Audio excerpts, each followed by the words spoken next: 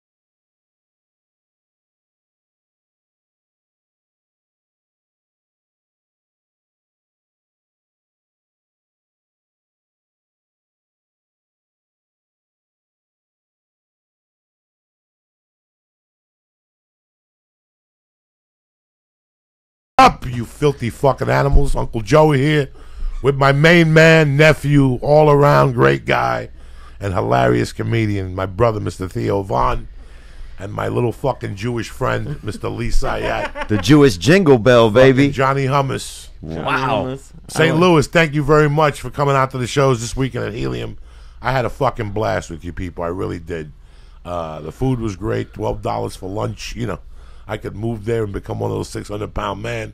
Then you got to take me via cargo to Houston and shit, where I feel every pothole in my asshole. Anyway, Theo Von, what up? Good to be here, man. Great Thank to be here. It's a special occasion tonight. I mean, uh. Yeah.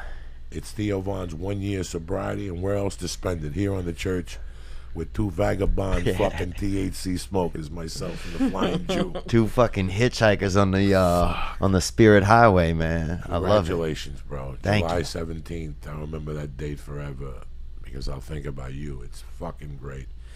Well, thanks, man. You've been super supportive, dude. Whether I, you know, whatever I'm doing, music or, uh, or no, I don't even do music, dude. Whatever. Uh, I don't give a fuck. You want to play the flute? Play the flute. You want to make noise? Make noise. Joey's really supportive. I'll make a phone call. My niggas come here like the Gotti boys. You know what I'm saying? I mean, comedy or just chilling, you've always been supportive, man. So I'm happy. I feel. Uh, I was gonna go to a meeting tonight, but I was like, you know what? I'm gonna come here and spend it with you guys, man. So Thank, thank, you very much. Thank This you for having me. This is a meeting because That's what I thought. we're gonna get more from it than we get at a meeting sometimes tonight. Because before the show started, we were talking about the use and abuse we were doing, you know, and how Yeah. we were doing it, and the scams and the mental things you go to in just the first year. I remember it took me 90 days to just fucking realize what was going on, and I would go to bed early. I'd force myself to go to bed early, not to have that withdrawal. Yeah. you know, that nighttime withdrawal. Yeah. How was it for you? Yeah, it's true. The later you stay up, the more you get lonely. You know, you can feel the wolves starting to kind of climb around inside of you. You know, that's how I feel. Like I feel, you know, like you got these dangerous squirrels that kind of live inside of you, and the later you stay up, the more they start, you know, kind of peeking their head around, you know, looking for drugs or looking for pussy or something, you know. And I feel like if I would go to bed earlier, you know, shut things down, like we'd get a book or do something calm, light a candle, do something that kind of sets my mind down a little bit, that I would feel better. That's what I started to notice, you know. So it, addiction is it's like a mental thing for you. It, it, it seems like it's not like a. I always thought addiction would be like a more of a physical thing. It sound, that sounded very mental. It's both. Yeah, It's both. It it becomes it starts mental. For me, I at the end the last two years, like I've said before, dog, at five to eight, my body would ache. Really? No matter what I ate for dinner, no matter what type of a day I had, at five to eight, bro, uh, my body would start hurting, and I couldn't think. I couldn't think except going to the ATM. That was all that was on my mind. yeah, And as soon as that man answered the phone, my heart started beating. I'd take a shit and leave. You know what I'm saying? Yeah. just- when you came in here and told me the story about New York a year ago, yeah, I think that scared you a little bit that night. That made you realize. I've always thought about that story and how you said it on the podcast. yeah, I always thought that you're very intelligent because you learned something that night. That was nothing. It could always get worse. You know? yeah. It just kind of affected. Like I showed up at Opie and Jim over there with Jim Norton and uh at their show, and I was fucked up. You know, couldn't even talk. I just had like my mouth open. Darryl Strawberry's there, you know, and he freaking and I'm like Doc Gooden. You know, I'm out there. You know, look like I just been smoking the moon. You know, and um and I kept drinking coffees, and I couldn't oh I couldn't close my mouth also, which was weird after a while. You know, when you can't even close your mouth, and they kept giving me hot coffee, and I was just like, damn, man. I just kept thinking, you know, you wouldn't, I wouldn't have chose to be in this situation. If somebody would ask me a year earlier, hey, you want to go on Opie and Jim Norton, I'd have been like, yeah, I'm excited. And they're like, yeah, do you want to stay up co- do cocaine all night the night before before you go on there? I'd have been like, no way, bro. I got to be, I got to be in top top condition when I get there. But here I was doing that, so I'm thinking I must not be making all of the choices for myself. You know, that the drugs was starting to make some choices. For How me long had you been doing cocaine at that time? not that long, man. You know, and I just had a couple of, but every time I would get heavy into it, you know, maybe a couple years, but just sparingly, occasionally. But when you would go, you would go. Yeah, when I would go, I would go, and I started to notice it was like then it was first it was like six times a year, you know, and then it was then it became like once a month, and then it was becoming uh, once a week, you know, and so I was like, oh, this is escalating, man, and that shit escalates quick, dude. Like one night I left the, I was in my apartment, dude, and I was all fucked up, and I used to put on. I had gotten a box of vests, dude. Somebody had ordered some vests, and I don't know if it was like a joke or somebody accidentally got some vests sent to the wrong person, you know. but I got a box of uh, of vests, you know, different types of, you know, vest shirts without arms, you know, So yeah, and different uh, colors and everything. different colors, different styles, different patterns, everything. And so I would like at night I'd be doing all this cocaine and putting on these vests and shit and kind of you know like enjoying myself a little bit, listening to some good music, you know, some Aerosmith or something, you know, just just vibing, you know. And uh, one night I was making a milkshake because I don't like to eat honestly. I like to make milkshakes more often. So I'm making a milkshake and um and I left the blend and I, got the blender on right? And I went outside of my apartment door and the door locked dude right? It's like 4 a.m my blender's going right? I'm out there high on cocaine. I got on this vest. This kind of kind of tangerine kind of I guess I don't know what material it was. Maybe like Mogadishu or something you know? Something fucking kind of fly. So this thing's fucking going, dude. There's only like eight units in my building, right? So I'm like, and then I guess the machine started smoking. The alarm starts going off, right? The now it's 4 a.m., dude. I got the the thing shorted out. The thank God the blender shorted out, but I got the alarm going off in the building now. I'm standing outside of my apartment wearing boxers and this fucking orange vest. Got on sunshades, and then my landlord comes out, and I'm like, Jesus Christ, you know, like just look at the shit that's going on, you know. And now I got to tell him I'm just up going to piss, you know, like so just things like that started to get weird, you know. I remember I fell asleep in some lady's bed and just urinated in her bed, and she got angry, you know. And she let me sleep over, and I told I usually I tell people before I sleep over that I wet the bed once in a while, you know. So, but anyway, man, it was uh, yeah, just just wild stuff started to happen. You know, I'd be over at people's houses. You know, just it's getting late. You know, you're touching some girl's crotch outside of an apartment building over there, and you know Studio City or out near the airport, and you're like, what the fuck am I doing? You know, it's not bad, but I'm you know I did this already. I'm still doing this. You know, so that was some of the issues that I started to notice, some of the patterns. You know. It's, uh, it's very sad when you look back at the stupid shit you did, and it's true. It starts off. The talk we were having before the podcast started is it always starts off recreational. Yeah. Listen, man, for me in LA, for me in LA, what's a good time for me in LA?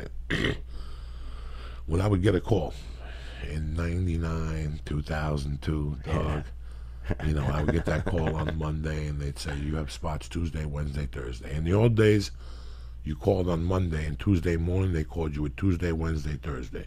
She wouldn't give you Friday, Saturday till Friday at fucking two. Oh. She would bury you till Friday and you could keep calling. You go, I don't know.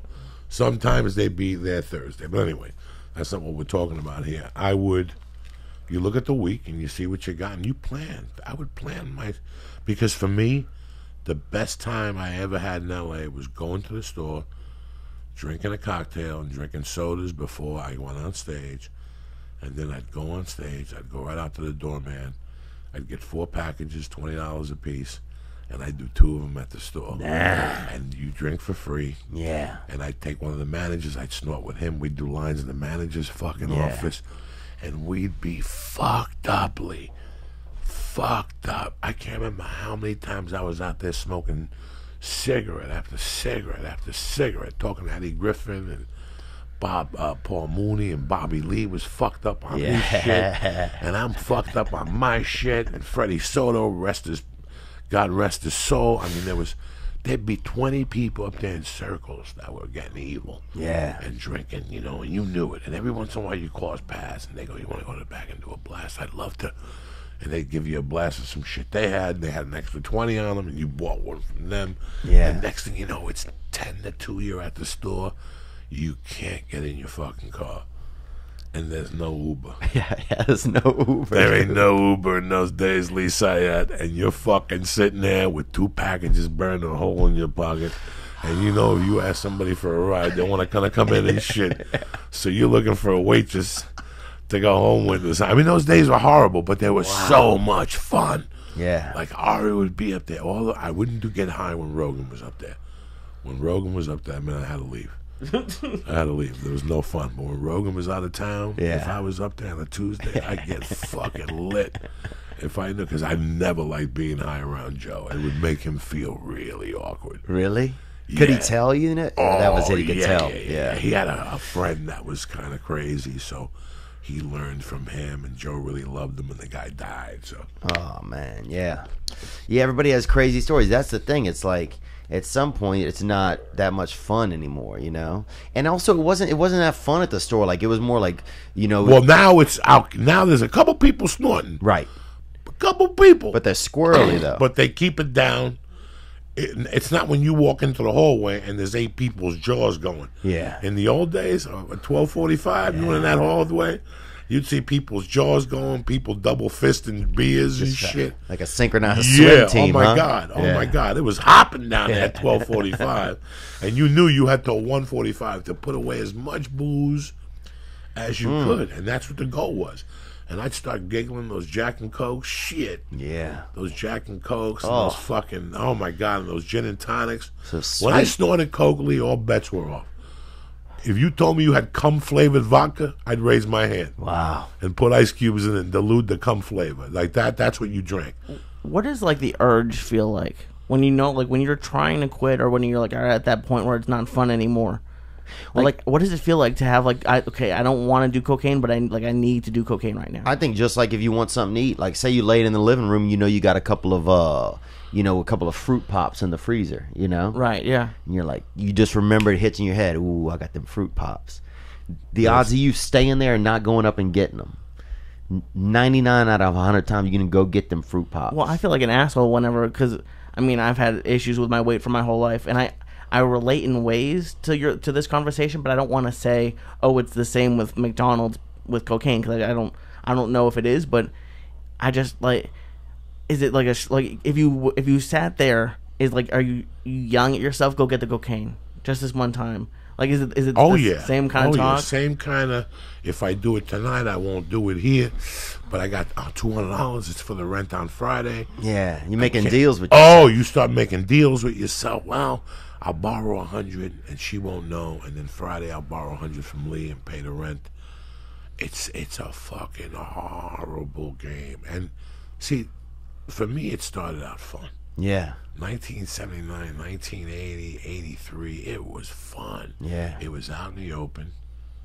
If you didn't do it, there was something wrong with you. People didn't want you in the room because you must be a fucking cop. yeah, You'd go to a bar and you could feel steam from people's bodies in those days. Like that's how wide open it was. So your mind keeps thinking that that that equation to a good time. I mean, in my case, right. and then it took me to kidnapping somebody. Right. You know, I was telling my wife last night that after the kidnapping, I come out. It, I wasn't even out of prison two days, and I already had white powder in my nose. I mean, I can sit here and tell you they rehabbed me. No fucking way. You talk a ton of shit while you're in there, Yeah, but you are what you are. Let's be honest. I came out of I came out of prison two days later. I was snorting, selling coke in the halfway house. A month later, I came up positive. Hmm. You know, I mean, I didn't give a fuck about consequences. I had to have it because it equated fun for me. yeah. That was what it was, and it was. It was fun for me. Yeah, I think the same, man. I think it. Yeah, it started out like I remember first time I ever did it. Actually, I was in Tucson, Arizona. This dude, we walk into a place. Some dude comes up from doing a line, and you only had one eye. Right, this dude. Um, Listen, when I meet somebody with one eye and they got drugs, I want the drugs he's doing. yeah, that's what I'm saying. I'm like, and I thought this dude had hit that line so hard he could like Yeah, suck his eye into his pupil. head. yeah. And I'm like, damn, that dude's having a good time, you know? Because I always like people that only have one eye or one, uh, you know, un- unique people. especially with party with, and at the end of the night, they finally break down and tell you how they lost the eye. Yeah. My brother shot me with a BB gun or something like that. Oh, a they good place to hide the coke you could like put it put the fake eye, the coke behind it But it's not a bad deal. But yeah, and that guy, that, and then, yeah, and then I would just experiment every now and then, and then every, and then it just was around occasionally. I never saw, you didn't see that much of it in Louisiana and stuff. And then one time, uh, some dude, and then the gay dudes was always trying to get you to do cocaine because they was trying to, you know, sneak into you. You know, they was trying to sneak into your body, so they would be t- trying to take advantage of you. And so they would, uh, they always had it, you know, and you always had to like do it with them, but then like wrestle them to kind of keep them off of your body, you know, or keep them out of your pants and everything. And almost, who knows what happened this one time? I was pretty fucked up. Thankfully, somebody had to go to the airport, you know. Otherwise, who knows what would have went down the, in this one bathroom down in New Orleans. But, but anyway, man, that's the old days, and and yeah, now I feel, you know, I feel whatever. It's oh, it's almost as fun just ta talking about it. Sometimes I can almost get that high just from talking about it. Well, it's therapeutic in a way because you look at yourself from a different angle. The longer you stay away from it, Yeah. the longer you stay away from it, you don't learn to hate it. You don't judge people who do it. Nuh-uh. Like I don't talk to nobody about it. If I say I know who's getting high when I go to the store, I Yeah. did it for fucking thirty years. I go down and I can see if you. That's why the rap battles and stuff. What's Yeah. it? The store they come out late. The cocaine people. They start about eleven fifteen. you can see them come out of the bathroom, wiping their noses and shit. And, and it's so funny. I told my wife this that this is sad. This is one of the sad things in my life. I started comedy, and at that time, anything went. Whatever you had, pills, coke, booze. Wow. I didn't give a fuck. I didn't- really didn't give a fuck. Once I started comedy, I read a book by Lenny Bruce, and that's what I was doing, Theo. Yeah. That's part of the patch. That's part of the uniform in the back of my mind. Oh, that drugs were part of the uniform. yes, that's why that was 60% of my decision to become a comedian. wow. After I read that, um, ladies and gentlemen, about him at the Chelsea Hotel and shooting heroin after he'd been in a strip club doing comedy in between the strippers, like who doesn't want that life? Yeah. You wake up at ten, you walk down the village, get a slice of pizza, come back to the Chelsea, watch TV. You know what I'm saying? Like that's Yeah. just that's what I, I wanted to be a fucking uh, A rock star. s- No, not really. I wanted to be somebody that just dropped out of society Right. like between Lenny Bruce and Charles Bronson and those guys. I just want to be a single guy that dropped out of fucking society and do comedy. You Right. know, that was part of it, and I understood that part of that uniform was the drugs. The Right. circle, the guys I liked in comedy, the ones that inspired me to do comedy, They was on drugs. they were all biker rock and roll motherfuckers. They was on that Kinison to except for Andrew. Except for Andrew that wasn't on drugs. Dice, you mean? Yeah, he wasn't on drugs. But Kinison, my idol prior, you know, George Carlin, they were all part of that fucking. Dice never did drugs? No, not till three, four years ago he started smoking pot. Oh wow. Watch his first special. He puts weed down. He says, "You keep you smoke a joint, another chink buys another building Yeah. or something. Another oh. Jap buys another building or something." That's awesome. You know, in didn't know ninety, in ninety three, I got ninety one. I got separated. Ninety two, divorced, and I went to New York. And I had the same experience you had in New York, only for nine months. Cleo, I, let's be honest, Cleo. I called him Theo. I went on a nine month bender. That only Wow. today do I realize how bad it was. It was twenty five dollars a gram, and I could walk there. Man. How is that a lot or a little? That's peanuts. 35 if it was uncut. Damn. Are you kidding? And how good was it? Because I feel like the stuff we were. oh, it was 1993. Dominicans on 181st Ah. Street, right by Port Authority. You walked over the bridge. You made a left. You went upstairs. You knocked on the door. You sat on the couch. You walked to the desk. You did a blast of one. You did a blast of the other. You put your money on the table. Had an electronic scale. Yeah. they put it on there. The assistant came over, rolled it up in aluminum foil, and you were on your way tip top Magoo. Yeah. I do. They, I, that bump would get me over the bridge. Yeah. If I had an extra couple dollars, I'd take the A train down to Port Authority down on 42nd Street, walk around a little bit, then take a bus back to Jersey like a doctor. That's beautiful. And the cops wouldn't even see me because if they see you walking on the bridge 10 minutes later, they're not stupid. They know what you're And in those days, if you did it with a car, they would pull you over. If they found coke, your car was gone, mm. confiscated because mm. you went over state lines. Mm. Oh my god. You got to be careful in the cars. That's why you had to go to the George Washington Bridge and come back over the Lincoln Tunnel. Yeah, you got to be Stop careful. for a hot dog, get a drink, go buy a bag of weed, kill time. You got to be careful, man. My my father actually had a um had bought a Cutlass 88 because my father used to, you know, he was just he didn't have any money and he spent he usually lived in like kind of poor places and he would mostly buy his cars he got from a lot of brothers, local brothers, you know. And so he bought a Cutlass one time or Delta 88, I think it was. And they had speakers in the back of it, right? And my dad was, you know, 82 by the time he was driving around with me, you know. So like I remember one of the speakers had it was broken out, right? And he had like 12s or something. And he'd gotten it off this black guy, right? So he didn't fucking know, and he could barely hear anyway. So he's just always driving around and had this car with these speakers in it, right? Just blasting, you know, whatever. What year is oldies. this?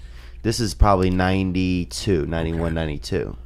And one of the one of those speakers had uh, drugs in it. They I guess had some crack cocaine in there, and they stopped my dad one time, found this in the speakers, and they uh, impounded the car. Man, took the car from him, and it wasn't even his. You know, it's like they think there's an 82 year old man doing crack, but he just bought a a car that had it in a you know just maybe somebody hit it in a speaker or something. They had um some Chinese food in there too, like some old Chinese food and some uh Nobody smelt it. fortune cookies. No, like so old it had just been dried out. Like It it's wasn't a fortune cookie. You getting your car confiscated? I I, don't know. Maybe so. still got it, Lisa. Yeah. There's a kid who torments me, Chin from Taiwan on Twitter. I Oh love yeah. Chin. Chin's great. I cracked a tremendous joke at him yesterday. He goes, Joey, I didn't like what you said. I go, Chin, where the fuck you been? Driving that fucking Lyft uh, rickshaw? And then I wrote, I still got it, cocksucker. A Lyft rickshaw. Get it? Dude, they didn't even. I remember the first time they had an Asian come by us. Right? They had a rumor they had an Asian, um, The first one. about maybe 17 miles away from us in Hammond, Louisiana. Right where the train used to pick up. And uh, and so we were fired up because we'd never seen an Asian. You know, we'd seen, you know, drawings of them, but that was about it. And we were like, "Holy shit, dude! We need to go and we need to see him." And so we, I remember we cut grass, me and two of my buddies, probably for six weeks.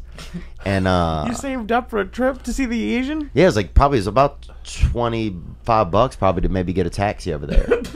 and uh, and we got a taxi there, and it was just a laundromat. It was like a dry cleaners or something. No Asian. We waited there. I remember probably four or five hours, and uh, and then we took a taxi back, and that was it, man.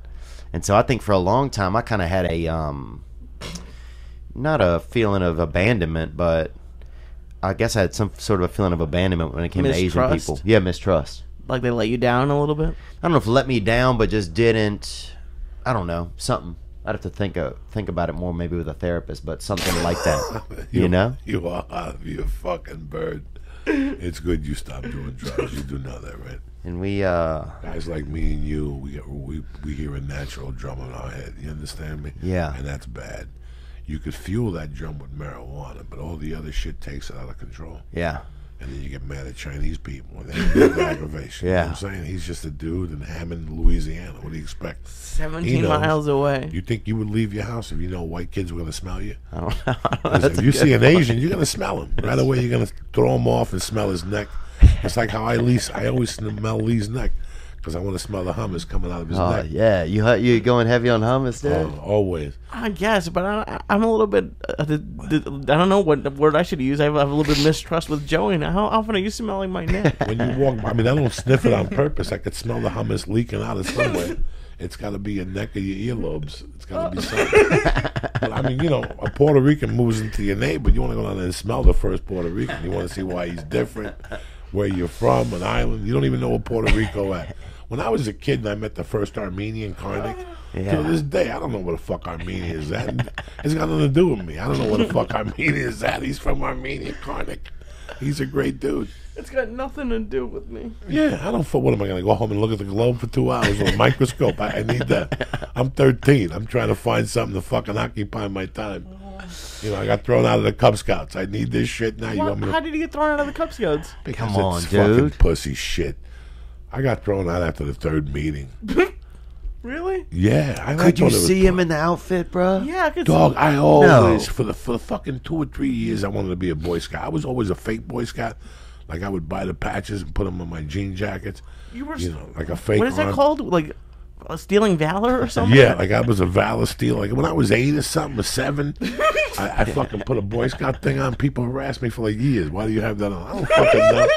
That's how I bought the fucking jacket. You know He what got I'm saying? that, that slanging rocks badge. Joey I had the swear to God, I was crazy. rocks. And then I finally got into the fucking Cub Scouts. Oh. And I thought it was the biggest bullshit in the world. Like you had to go to a gym for a month and tie Yeah. knots on a boat. What? Yeah, I thought we we're going out in the jungle. Yeah. And building like a tent and, and then no no no. What what jungle Listen. do they have in New Jersey? I don't fucking know. I got something out there The towards the, north. brochure told you a fucking adventure spot. So then they start to one, then they drop on the second meeting they drop that shit about we got to work and pitch tents. That's where it ends right there. Yeah. I go to summer camp. The reservations better be made. You know what I'm saying? Yeah. When I get that, I want no fucking misunderstandings. This better not be Ja Rule's festival down there with that white dude. You show up in that oh, fucking Oh, yeah. tents and Fire shit. Island. That's Fi- Fire Island. no, no, Fire that- Fest. Fyre Fest. That- Yeah. That dude got arrested. Yeah, They arrested that motherfucker for fraud, bro. He's oh. young too. dude. I thought They, it. they throw you in jail for that shit, guys. Really? For that federal shit, unless you throw a ton of money at an attorney, and for them to put you on like a long federal probation. Well, it was in the Bahamas. They must have really rich people going, so they must have really expensive lawyers who are like, "We got stuck on the Bahamas for a few days. Let's get us our money back." well, whatever he stole is what he's going to use to pay the attorney, and then he's going to have to come up with the fucking money he stole, which is restitution. And while he's in jail, he's got to think of that. And you're not, you're never cut from the system until you pay that dime. Yeah, your probation never ends. If you get three year probation and your restitution ain't done, they take you to court and they extend that motherfucker dog, and they'll fucking probate you to, and all rules apply. All rules apply. What's the best crime you think to commit? You know, if you got to do one, you think based upon the value and the time that you're gonna get. right now in this world, in my world today? If I did not have the podcast, if I did not know Lee, no, I'd have to have Lee around. You could be a little criminal, huh? I would. I don't mean, not little, so. no, but I have no. regular I would com- criminal. I have would no do- dexterity. I'd knock things over. I would do a combination bookmaking, I could do that. sports information service combination. yeah. Like I would be an illegal bookie, but a legit sports There's a very Doctor. uh, a doctor, like giving picks and selling information. yeah. there's a very interesting series on Netflix called The Underworld, Okay. and one of the uh, ones they did was illegal gambling, and they showed this bookie in Jersey or something.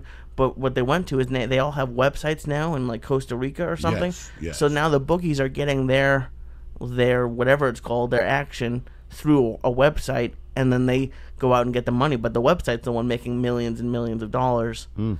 and it's legal there. Like it was very interesting to see how it's like gone into like a digital age. You could very, you could easily do it now. I would go straight up bookie, sports, and I would also do a number. I would take it back to the Brooklyn number every day, old school, two dollars. I get Yeah. you gambling two dollars. That's where your money's at in the beginning. Two dollars adds to four, adds to eight, adds to ten. Next thing you got you got ten people hooked on numbers, and they're giving you a hundred a day plus your sports operation. You're rocking and rolling, You're cruising. and they can get you on the phone, you know. But you in today's world, you really don't have to use the phone, but they get you on text too. Now, how hard is it to keep up something like that? You think like of people paying and not paying and stuff like that? Very usually? easy. Yeah. Very easy. In today's world, listen, you're not gonna, you're not a fucking dummy. If I call you one time, even if it's Joe D as your friend, and I go, listen, I want to put 20 G's down, Joey. I love you to death, but my partner needs 10 of that. I don't even want my 10. I trust you. You always got a story. You always got a partner. Yeah. In Connecticut, that wants half down. Anything over 3,000, I need some half down. You know. Yeah. So you're covered. If they're real, they'll give you the 10. Yeah. They'll come bring you the 10 like nothing happened. And even if they don't pay you the other 10, you still made 10. Let me tell you what I was doing with Josh Wolf. You asked Josh Wolf. Mm-hmm. When I moved to Seattle, I didn't know nothing about nothing. All I knew about for the, la- the two years before that, I was working at a sports betting service. I was involved with them for three years. And I wasn't one of the best salesmen at all, but I was starting to get it. It was a shame. It's a great thing to do.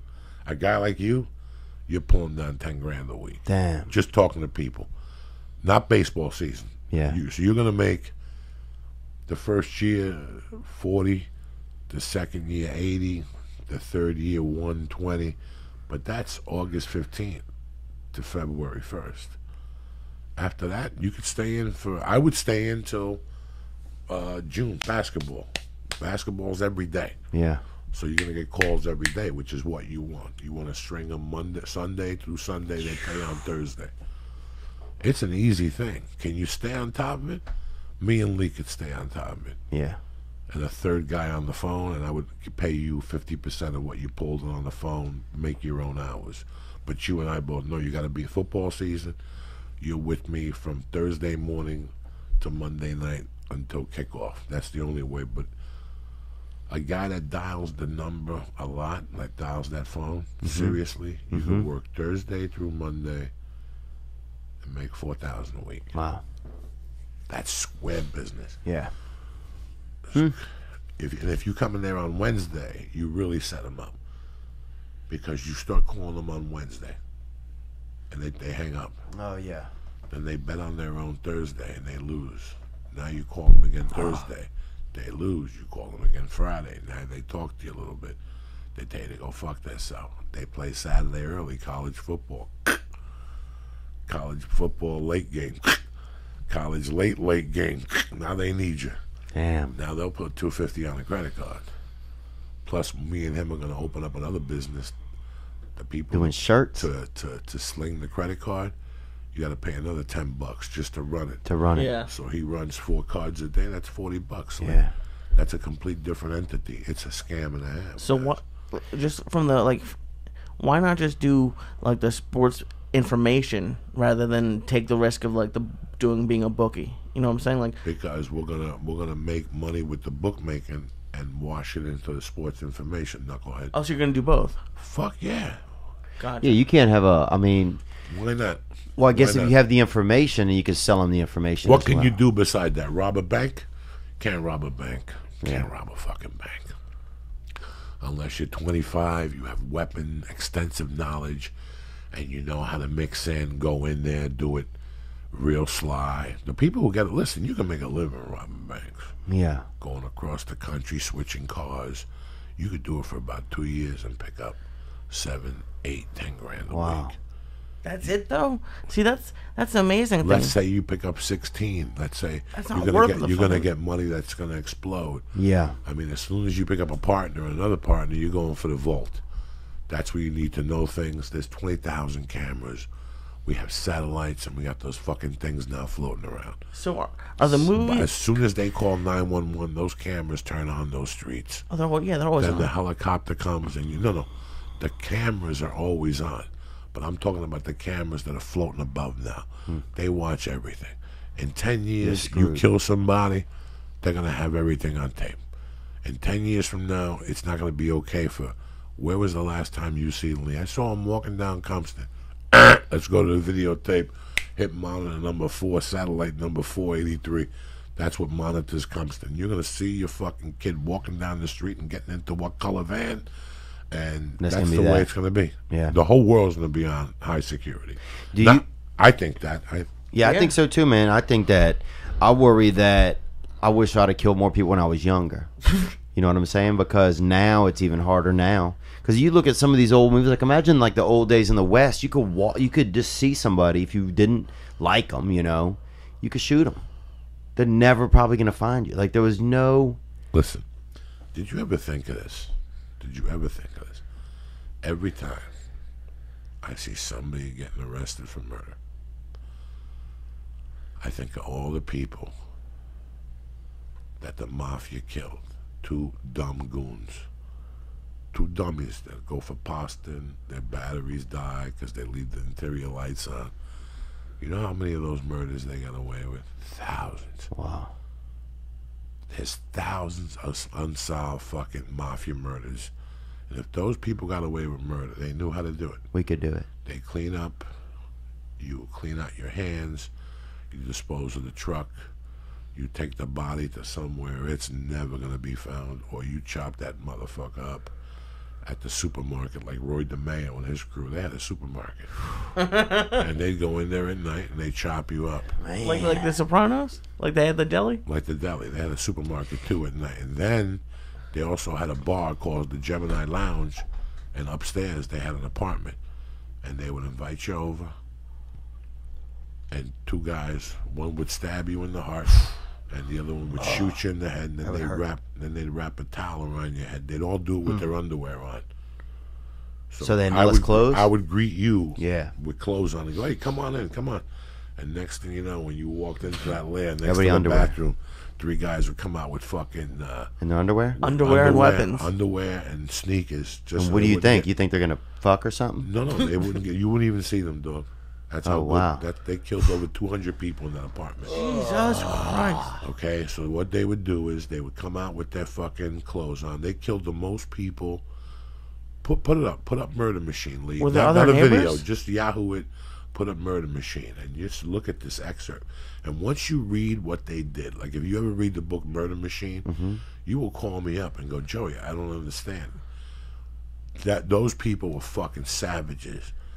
I mean, when, when you start the month at zero, Yeah. and you make uh you know four hundred thousand a month you are a fucking animal these guys were animals they were robbing cars Oh yeah. sending them to iran and getting five thousand a car they were shipping over a hundred cars a week guys Wow. What? on a container I can't believe that, this these guys were savages these guys were street dummies and when you read the type of shit these guys did yeah any of them just pop it and see what it says that guy was the leader all right that guy the, The gambinos fucking hated him the fucking boss of the gambinos knew what he was but he was paying so much money every fucking week that he bought himself a fucking mafia card. And then they just made him a captain. Wow. They said, don't even come. Don't even come around. They went to the Gotti brothers and said, you got to get rid of this guy. And they were like, we don't want nothing to do with him. Wow. That guy was a straight killer. Like, this huh? guy was a fucking savage. And the more coke he snorted, the crazier and crazier and He didn't care. crazier he became. But the fucking envelope was so big. He had a drug ring. He had a car ring. He had a fucking, you know, it was just it never ended. Huh. So one time he he had a kid that he adopted. The kid was Jewish, but he wanted to be Italian. Mm-hmm. So that kid cut a deal with some Cubans. There it is, right there, right in front of you. The Cubans had connections to the Cuban drug cartel, raising the possibility of violence between the Gambino family and the Cubans unless Rosenberg was dead, dealt with. DeMeo was ordered God. to kill Rosenberg, but stalled for weeks. During the period, DeMeo committed his most public murder. The victim was a college student with no criminal. He was outside selling vacuums, Hmm. and the DeMeo thought he was a fucking Cuban and he shot him and shit. Yeah, this was crazy, but how they would do it, Lee? You ready? Let's go back to the apartment. Gotcha. They come out with underwear. They'd stab you in the heart, shoot you in the head, and put a towel around your head. Were there neighbors or no? N- Nobody knows nothing. Silences. Oh. They owned the bar, so there was no fucking Neighbors, neighbors. bro. There's no neighbors. You think they're gonna have neighbors and do that, Lee? I don't know. You got to think like a murderer, bro. Okay, so there's now You're there's- thinking like a civilian. they take you, they drag you into the shower, Sorry. they hang you, Right? Oh, and Jesus. they Oh, they make the you. blood come out of you. No, they don't. Yes, they do. They drip the blood out of you. For what? For sorcery?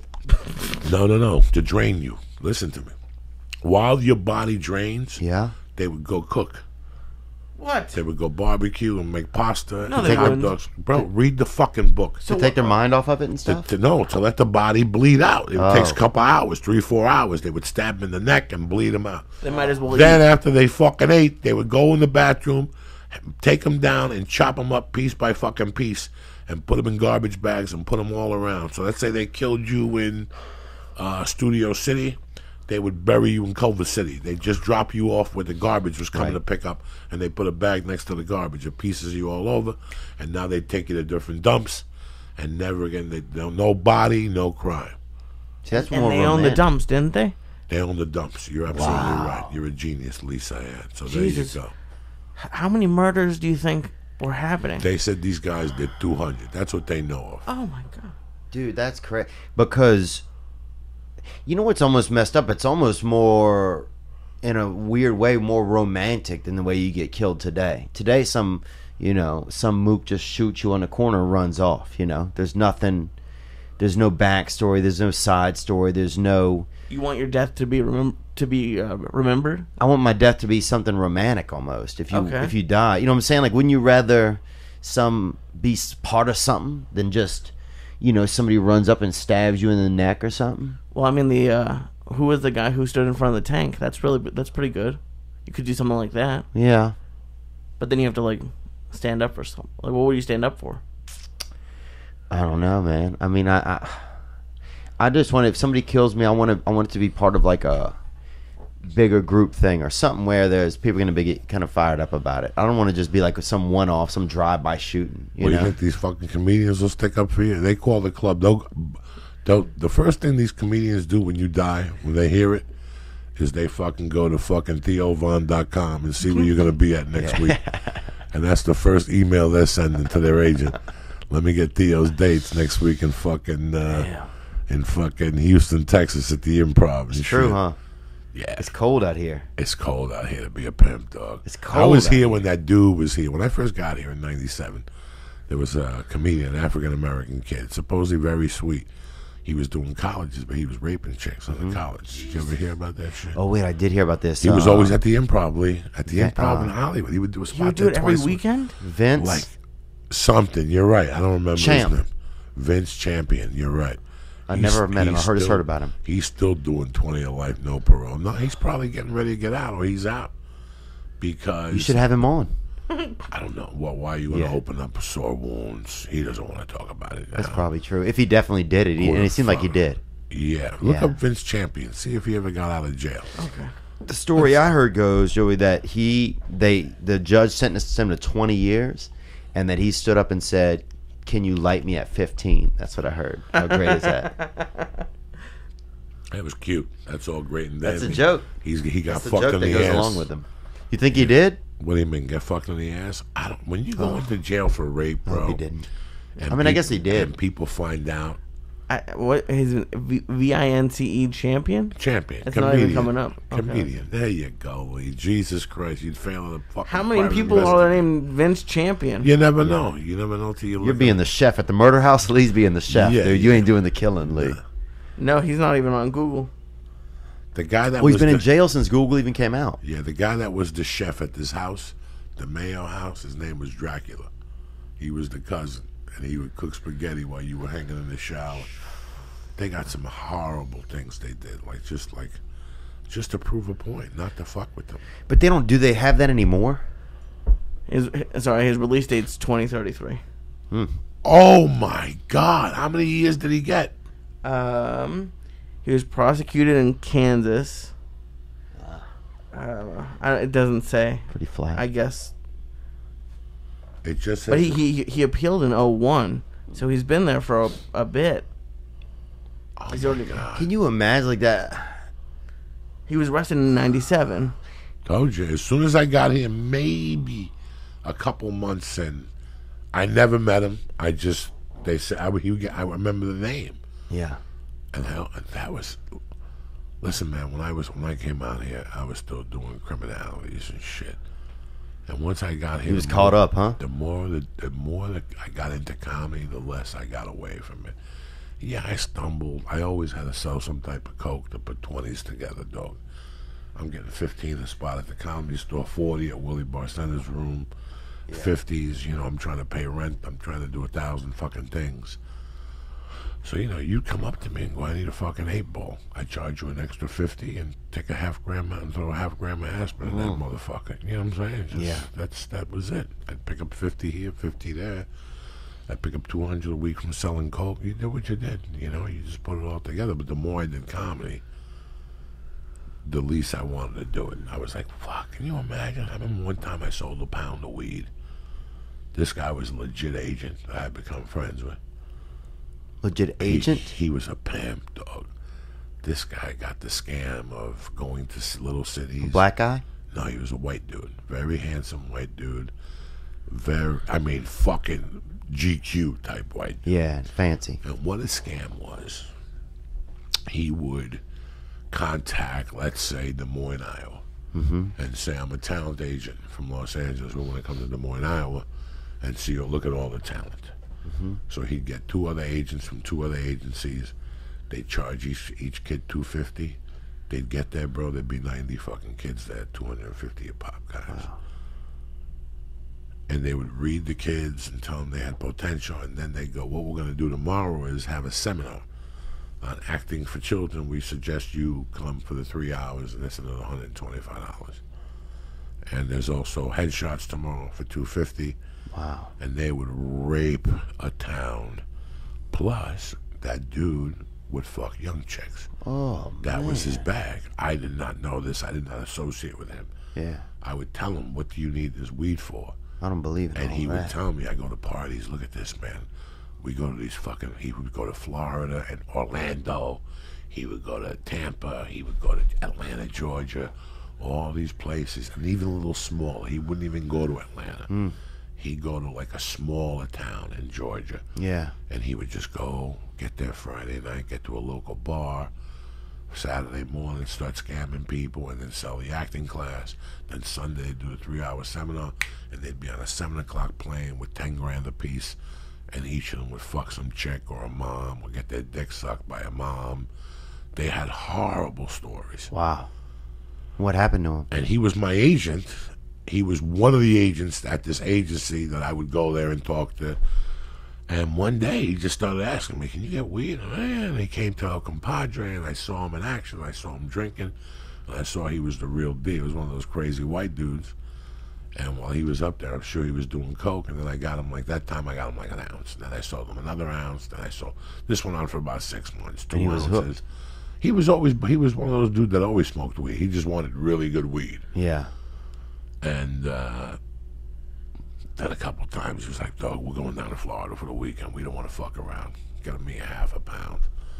I would jack him two hundred dollars on a half a pound and take a half ounce out and spray it with water to make the weed fucking swell up and shit. By the time we got to Florida, he'd realize I smoked three ounces of pot yesterday and shit. No, you didn't, Uncle Joey. Wet that weed like a motherfucker. Dude, I sold an ounce one time in my neighborhood and almost lost my mind and fucking.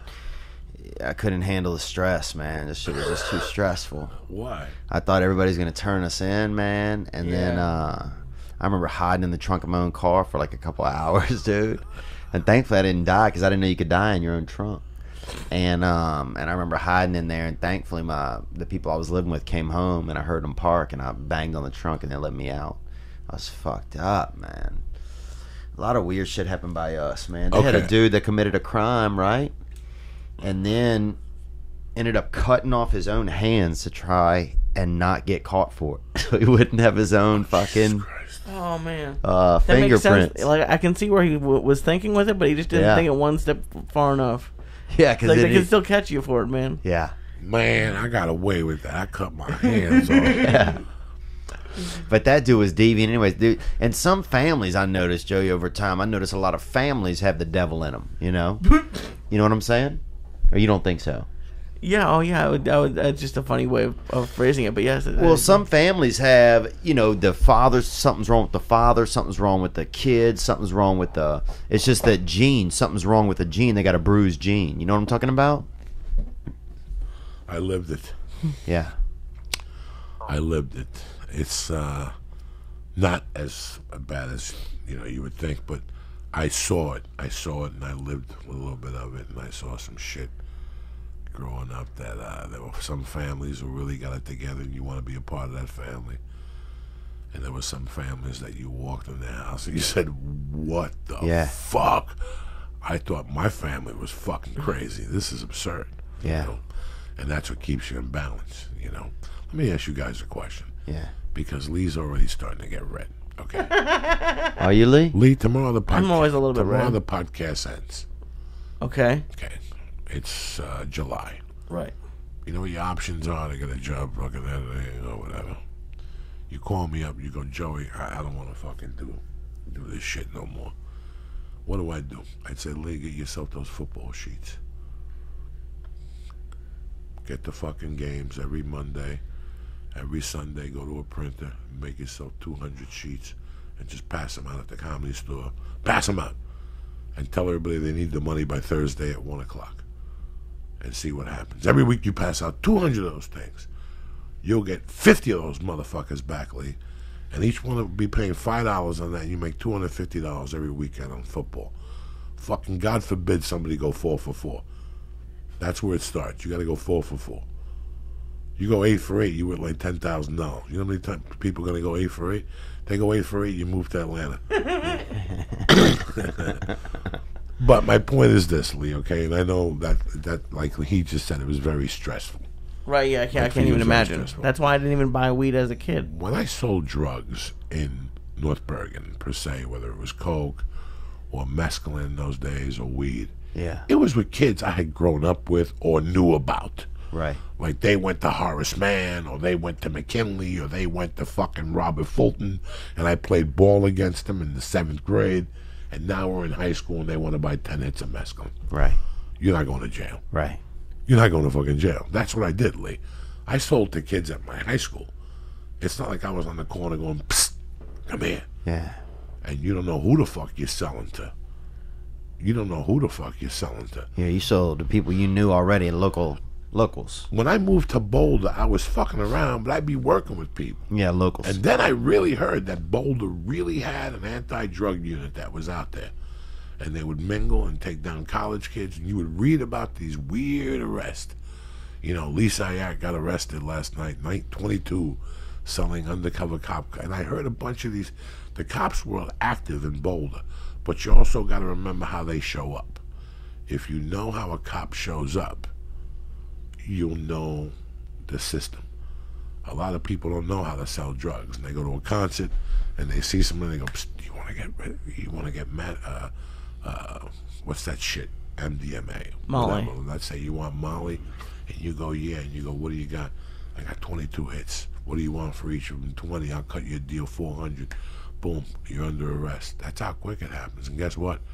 You're doing 15 fucking years guy, for that type of drug.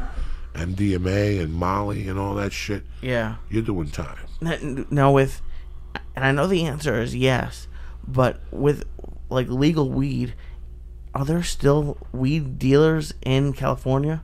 Like it doesn't make sense. to Probably. me. There's people that may not want a license yeah. for insurance purposes or for their job purposes. There's people who don't want to be off the radar. There's people who will tell their son, "Here, get a license and go buy me weed." There's that still. But Yeah, I get still that, think yeah. I still think there's weed dealers. Everybody wants weed. You can almost just mail weed to anybody in America and they'll accept it usually. Like I, uh, every time I see more family members, they just keep wanting uh, weed. You know, they're just like, mail me weed. You know. I, I'm scared to mail weed. They always bust it open. Yeah. Would seem They like a pop it idea. here. They pop you right here. They don't even get to where you're going. Wow. These motherfuckers in, at the LA uh, down there. What's the Cherokee Station Mm-hmm. behind 7-Eleven? Shit. You're They'll rob you at gunpoint. Those motherfuckers. Those motherfuckers will rob you at gunpoint, Lee. Where's Tony Bennett, Come cocksucker? Vajipping, dude. That was a big thing when I was young. Was uh, a lot of the girls would put a hit of LSD in their vagina and they called it vajipping. No, they didn't. Yeah. Would it would it absorb through the vagina? Oh, I guess Hold it on, would. We'll talk about this.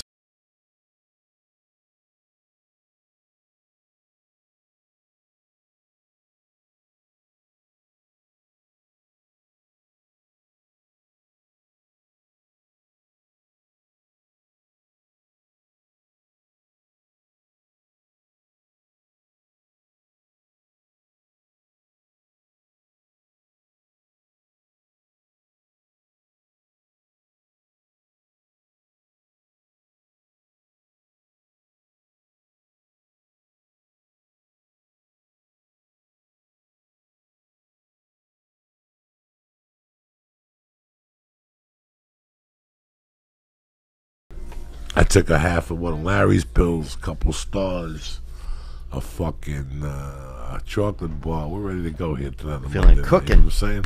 This is what it's all about the Monday night loose. I congratulate you. So back to this fucking acid in the chick's pussy. Get Yeah. back. How old was she?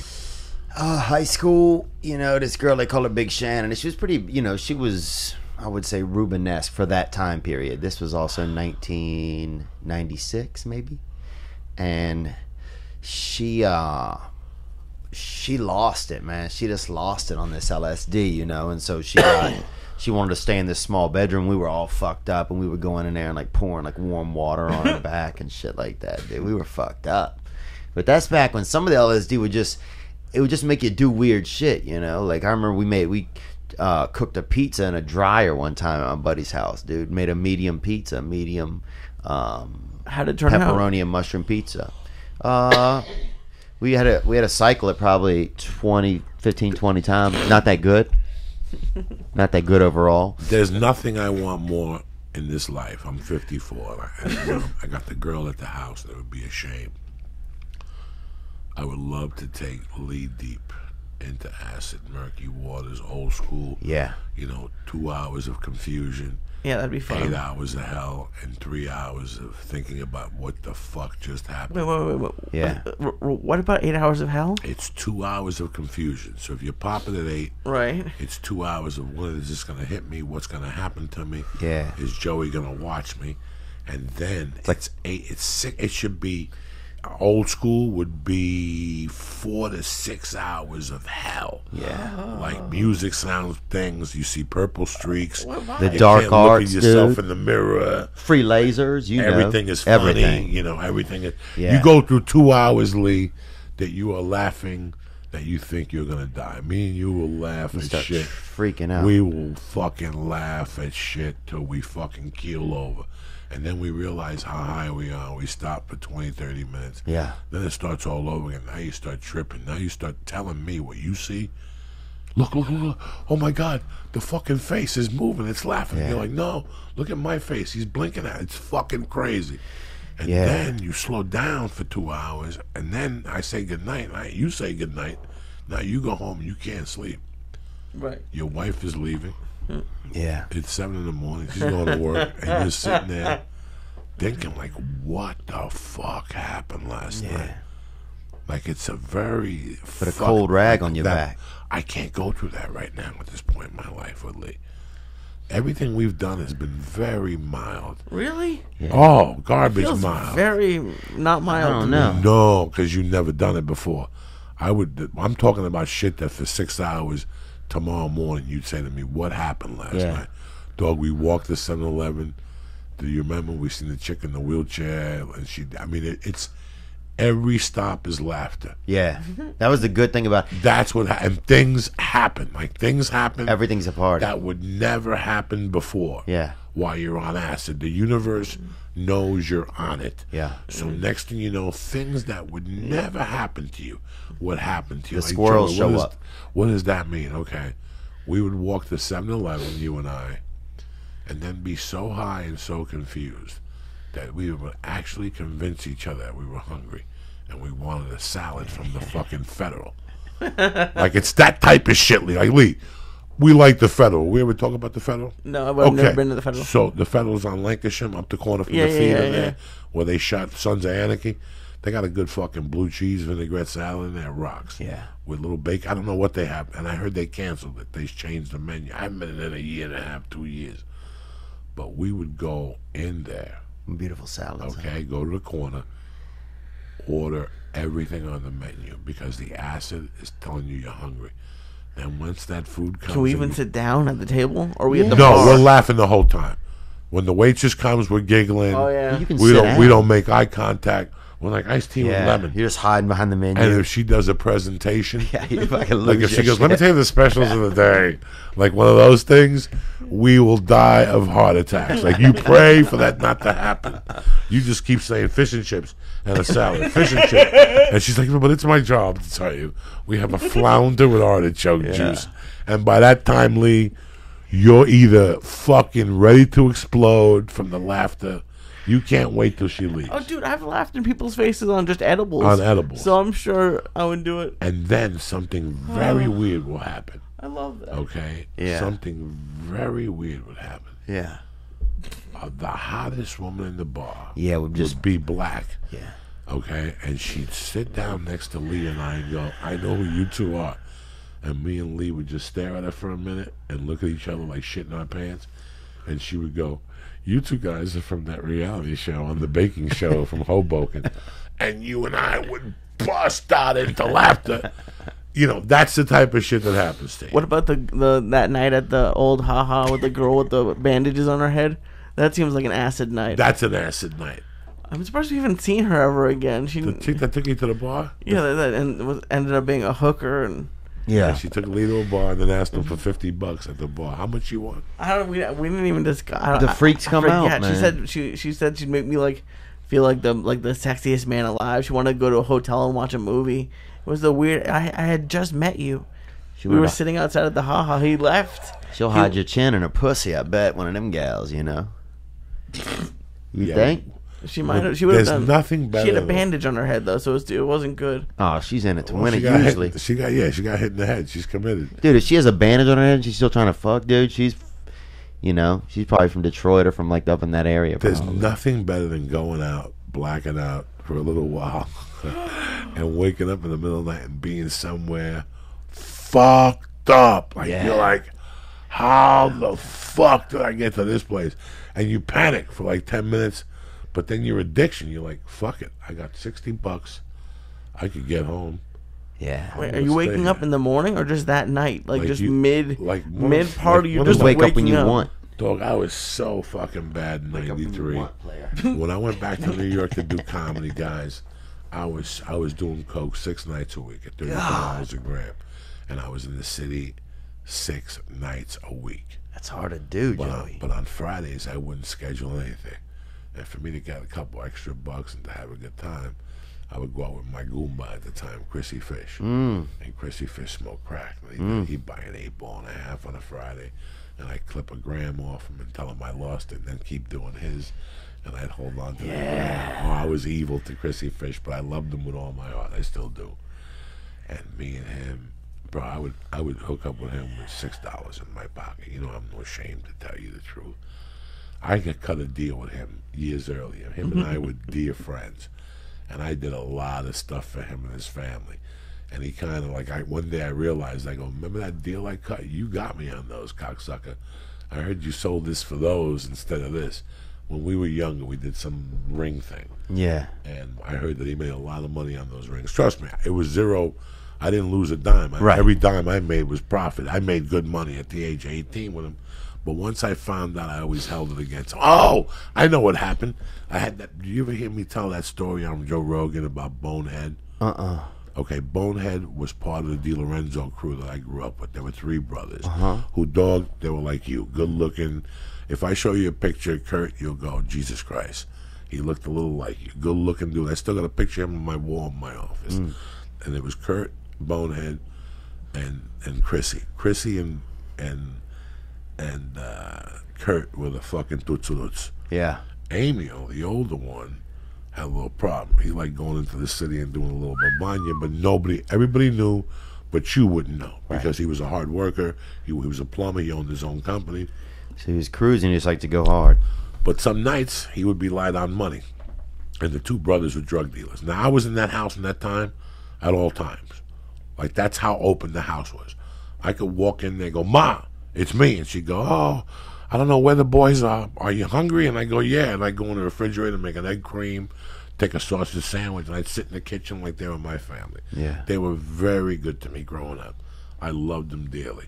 They knew I was a thief Yeah. and I would never even take a dime out of that house because they were like fucking solid with me. Yeah. Those latter years from uh, 81 to 85, 86, oh my God. Solid, huh? So this is summer of 83, 82. I'm clipping up a storm. I'm robbing with fucking four hands, hmm. dog. I'm robbing refrigerators. I'm robbing air conditioners. I'm stealing jewelry. I'm selling. I'm going to Harlem and getting coke on 135th Street hmm. at 18.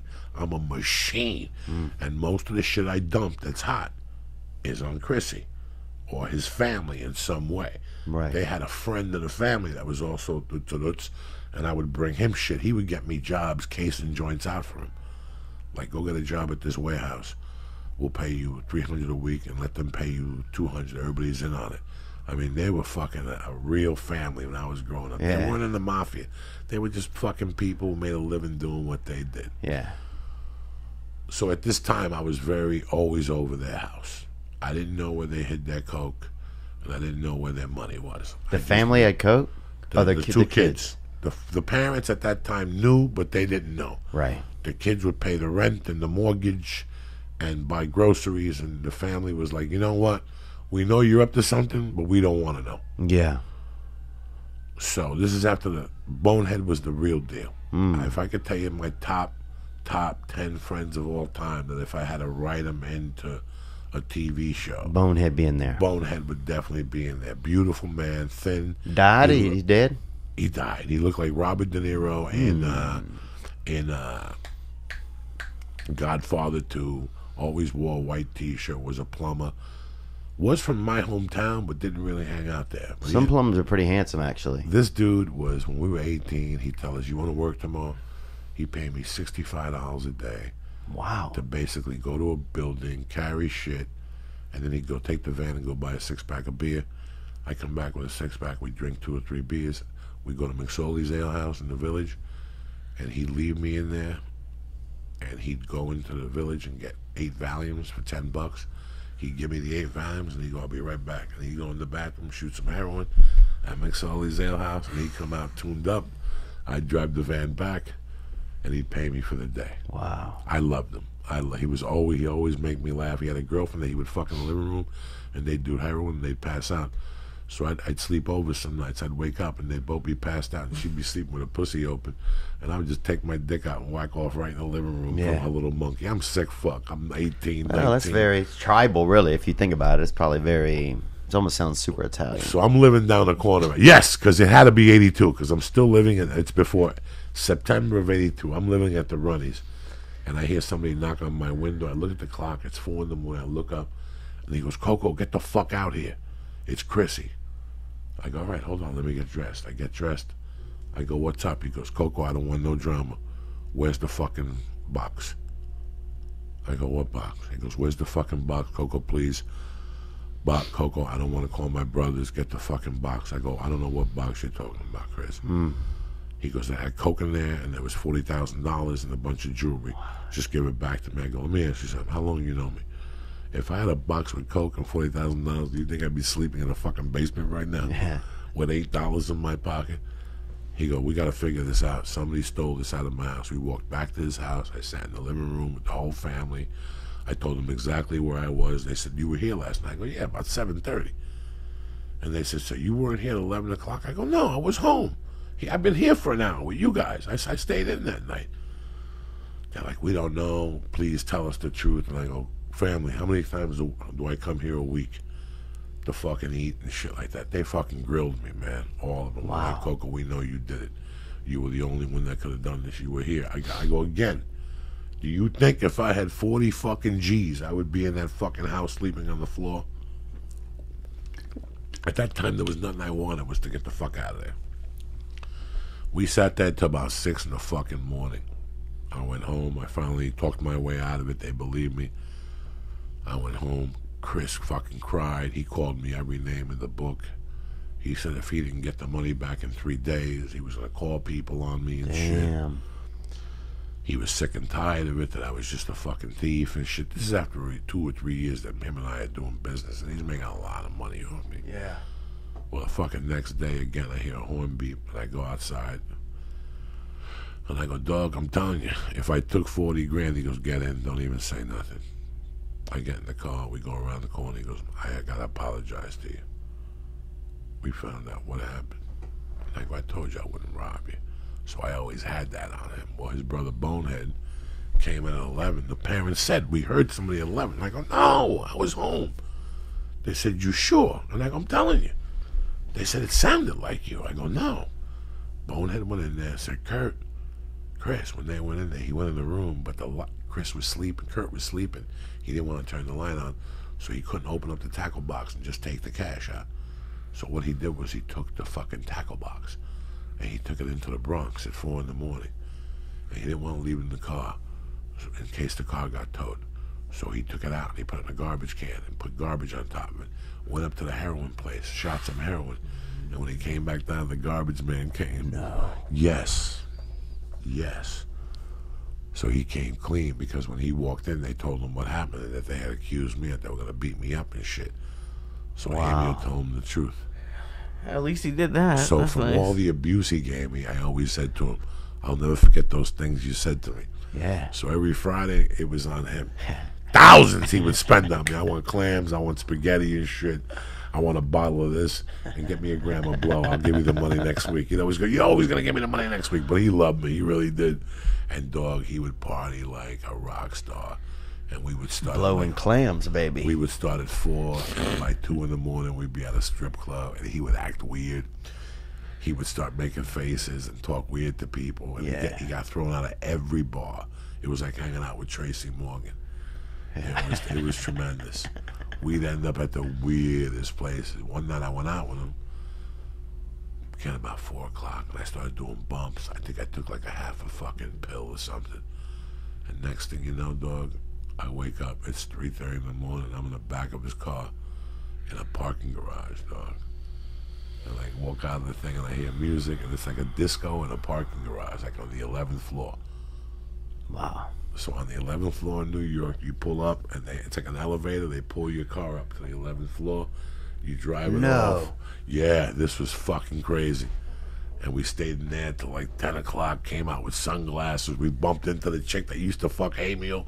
We brought her back to Jersey. It was Donna Chinsoon was her name. She was half Irish, half Chinese. Wow. Oh my God. That was part of my drug and stuff.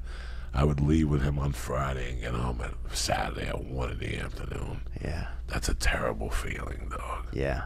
Oh, that's the worst, man. But I'd have a gram in my pocket for Saturday night, Oh. and I'd still have 80 bucks. I stole tw- 40 from him at the bar. You know what I'm saying? When he was all fucked up. When you get going again, and that, yeah, I, I didn't see. I didn't get super like LSD. I remember was fun. I would always feel like I didn't like having shoulders when I was on LSD because I always felt like my uh, I know it's like my shoulders were like looking for me. You know what I'm saying? If that makes any sense to you, like I would just just get scared a lot by them. And uh, and I would have like a lot of audible trips, you know, where I would hear just a lot of shit, like things far away, um, and I thought I would hear actions, like I would hear like people looking, like looking at each other, and I'm like, damn, these people are looking at each other, but it's loud. Like I would have the weirdest, just kind of like, I don't know, my senses got fucked up. One time I was at my grandmother's on LSD. Some kids, some local kids, gave me some LSD, and I didn't know them, but they, you know, were being pretty friendly and everything. And then I remember I was so fucked up, I felt like I had to see through my hands, like my senses were messed up. So I remember walking around like this, trying to like see where I was going. You know, like it was, it was, it was deep, man. I got pretty deep at certain times, but. But these days, I don't know if I could do LSD. I think I think sometimes the memories of it and the thoughts of it are better than actually doing it. You I'll know? tell you guys a story I never told in the podcast. Summer of 78, I'm in the eighth grade. I'm going to be a freshman.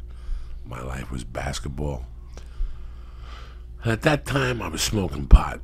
I hung out with people who did mescaline. They were a little older than I was. And one night, this dude, Lefty Cortina, had this party. And he was, his parents were doctors. He's a teacher now at a school in Union City. And his parents had a party. And he invited like really cool people. Like it wasn't like you could show up with eight people. In those days, if they called you, that meant come along. You Yeah.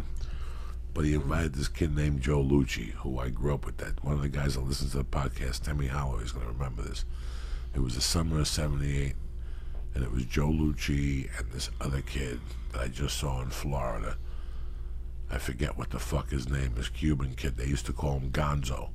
Well, we were all at Lefties. We were all kids, young kids. There had to be 15 people at Lefties, and half of us took Microdot. But whatever people did, that kid Joe Lucci tripled. Mm, like he was a savage. I OD'd at one of his parties when I was a kid. I had a bunch of Quaaludes and got snorted out. I'm a professional at this shit, dog. I Yeah. know about this shit because I failed. You're an adult. Thank God I didn't die. But I'll never forget, it was like four of us walking home. And it was Joe Lucci and Gonzo. And it was me and maybe three other people, four other people. We, we were walking maybe 30 yards behind them.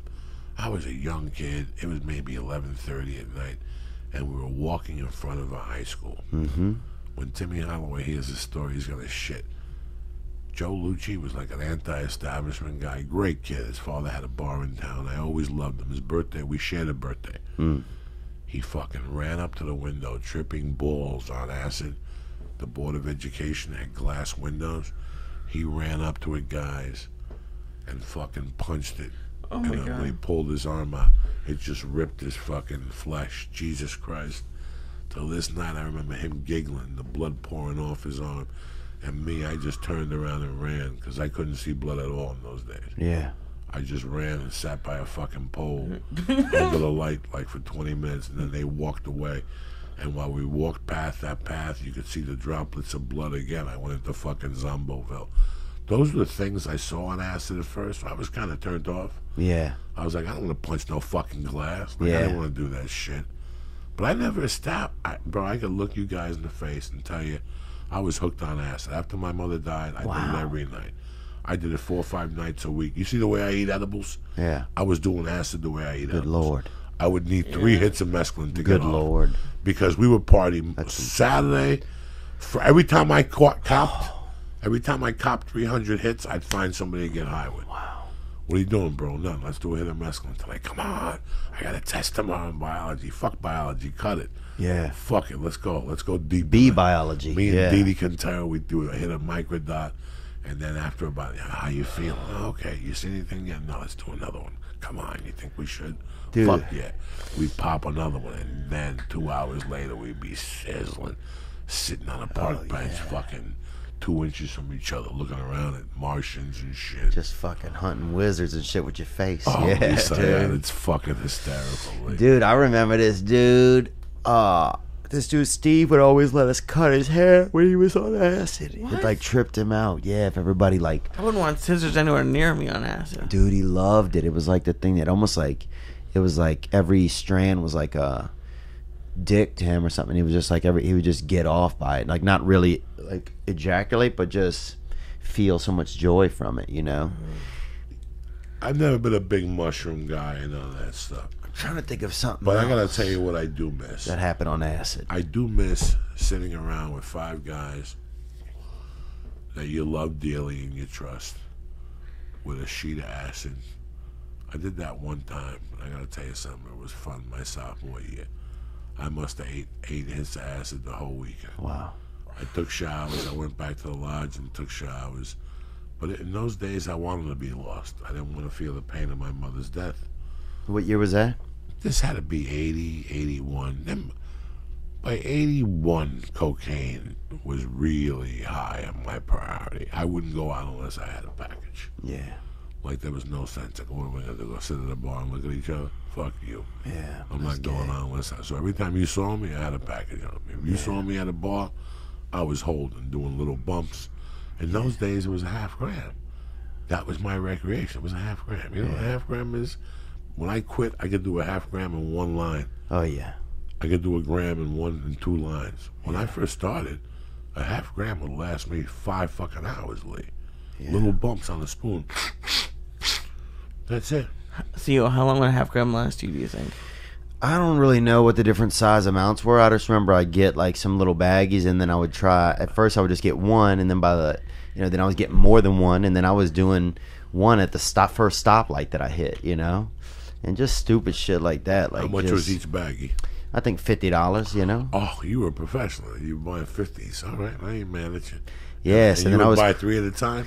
Dude, and one time I did eight ball or something. I don't even think it was cocaine. I don't know what it was. Could have been bare aspirin, dude. I did that whole thing by myself, dude. Uh, and I couldn't. Uh, I remember I couldn't close one of my eyes one time for about probably maybe sixty minutes, and I had to put like a cold rag, like a wet rag over it because I was afraid like my eye was gonna dry out. And I just remember being so scared, dude. A couple times I almost called the hospital.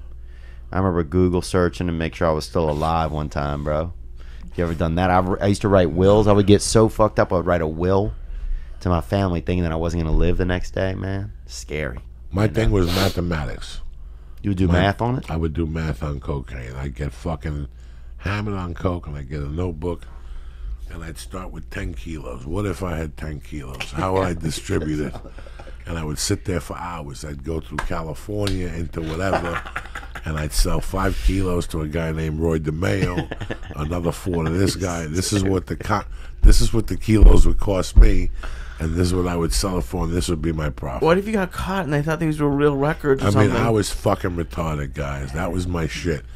Then my shit. I was never a porno guy. Thank God. Yeah, I got I into watching. No, that. I was never a was cocaine porno guy. It's not I had a friend that you go over there, and he refused to take that shit off, and it would t- fucking drive me crazy. That's Yeah. crazy. You want to show me a cum shot? I'm in, but turn this shit off. Yeah. You know, I'm like the next guy. I got a little juice in me. You got a hot chick that takes a fucking cum load to the face or the forehead. Yeah. I'll watch it. You know, two minutes, I'm in. When I next time I go to the bathroom to pee, my dick is dead anyway. Yeah. That was the thing that really got me. That I think about now. That I cannot believe I was doing. Watching porn with another guy? No, no, no, no. What the fuck is wrong with What are you, you talking knucklehead? about? That's natural if was everybody's the- standing up. No, sometimes you go to sleep. You call me up, right? And you say to me, "What are you doing?" And I'm sitting there and I'm holding three quarters of a gram of coke. Yeah. All right, and I'm a little buzzed. I'm like, "Why, Lee? What's going on?" You're like, "Dog, my friend just dropped an eight ball on me. Come on over, do a couple lines. That means I'm doing half that motherfucker." Yeah. Who's over there with you, Lee? Nobody. I, I'm by myself. I would shoot over there. I would never tell Lee I had that G-Bo in my Yeah. pocket. That shit's for later That's on. mine. That's for in case a chick shows up over Yeah. at Lee's house. And I would sit at your house, Lee, and do the whole fucking eight ball. Yeah. And I tell you, we're out. Talk shit. You tell me to stop and get beer and a bottle of vodka and a bottle of schnapps and orange juice and two packs of Camel Lights. You tell me for you to come over, get me three packs of Marlboro, get a case of fucking Heineken, and get a bottle of Jack and three of those liters of Coke and get three bags of ice. Take an Uber Yeah. old school. And I come over, Lee, and we lock the doors. But if now I show up, Lee, you got an eight ball. You don't have fucking uh, uh, Petticoat Junction. You've got porn. Yeah. It's like that movie. What's that movie? Boogie Nights. When they showed up, the dude was playing the cassette and he Why was not throwing just Dick out all the firecrackers. time. Turn Yeah. on like anything, anything else. There's people who are dis- I had a I had a Turn best friend. the news. Dog, I had a best friend that we would get so fucking high. He'd go, let's rent a shitty hotel room and finish this eight ball. Oh. And we'd go there, and there was mm-hmm. blankets. You could smell the cum in the room. And you turn the TV on, and Channel 3, the first channel, was the most disgusting fucking porn you would ever see. And he'd sit there all night and talk to you about his mother and his childhood and his dreams. And the whole time, some fucking chick, skinny crack hoe, is getting fucked by eight guys in the asshole, and she's all strung out. You can see the needle marks on her fucking legs and her arms. It was probably wasn't even TV. It was probably just a hole in the wall to the next room, man. That's what I bet. Oh, those hotels were disgusting along the Route 1 and 9. Always the From. Bayonne going into North Bergen. Any motel, Jersey City. man. We did so much coke at those CD. There was one in particular that I even lived there. Sorry to tell you, I loved it. The Tip Top, the Domino. That- That's what it was in '80. I lived there for fucking a month. and they had a room that had jacuzzi. You went in there, you could smell the diseases. Ah. You could smell the diseases. Hot My- crotch in the air. my friend rented it one night and got like two fucking skanky hookers, and I went over there to snort with them. I had to leave. They were disgusting. They were fucking just disgusting. Yeah, that's the scary part when some um, vagina hits the air. You're just like, this isn't even. No, those hotels are disgusting. You have sex at those hotels, you'll get a rash on your back for sure. Yeah, I lived in those things, and that's where the fungi toe, I think, got invented. a staph with me. infection country. Yeah, that's those Jersey? hotel rooms, and that was brand new at that time. That was maybe five years old, but the weekends were just people fucking from the discos. Yeah, That's all that was. People snorting and fucking. Girls telling their parents they're gonna sleep at Alyssa's house and go shopping Saturday morning. Fuck you. They're at the fucking motel, the Domino, getting high and getting banged, and people taking pictures of them and shit. I remember the big thing growing up. Us was to fuck like behind a tree, like out by the lake. Like people, they had this like one tree, and people would always go out there and park and walk around and, um, or you know, or open your car doors and like fuck behind the car door. You know what? Where people couldn't see, like you know, couldn't see your bodies, kind of. You know. Um, I think because we didn't have like a lot of hotels and motels by us, Me so That's you didn't when- either. I That's had no when I- none. that's when life was fun. Yeah. When you, when you had a date, you know, and everybody knew the deal. You know, grandma lives with them. There's nothing you're gonna do in that house. Yeah. And now you can't even you can't rent a hotel room until, until you're 25. So yeah, so that means you got to pull over and talk her into pulling up her skirt somewhere. And it's funny because usually you start finger banging them in the car and whatnot. The next thing you know, you're behind the car. She because the only way you can bang, to be honest with you, is if she's on all fours holding on to the hood, and you're just back there stabbing them. Both of you fucking. Uh, you got to go back there and bend over and eat that pussy from behind to what Wow. that monkey. Yeah, you got to party. in the wilderness. That's how you got to do it.